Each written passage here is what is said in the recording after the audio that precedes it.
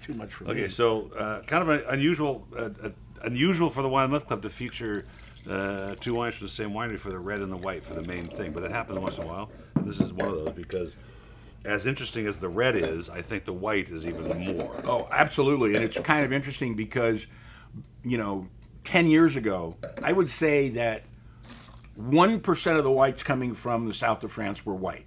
I mean, not if if one percent. Now it's amazing. It's going up and up and up because You know what? it's so good. The component that most of these things are coming up with that makes them so good, and we keep talking about how great they are, is this Grenache Blanc. Grenache Blanc, absolutely, absolutely. We just keep finding it because the Roussanne's been around. It's kind of fat, you know, it's kind of tropical. Viognier the same, but this Grenache Blanc sort of cuts the mustard a little bit with it. Oh well, Grenache Blanc. I mean, first of all, nose is so complicated. First of all, they're growing it in the central coast of Sa- uh, in Santa Barbara County, and it's unbelievable.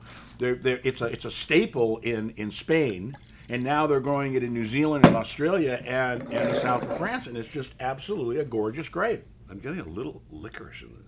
Absolutely, no, I get it as soon as you said that. Little anise. Beautiful bottle of wine, nineteen bucks on the shelf, twelve dollars reorder price. God, I'm at ninety eight on this one. I love this one.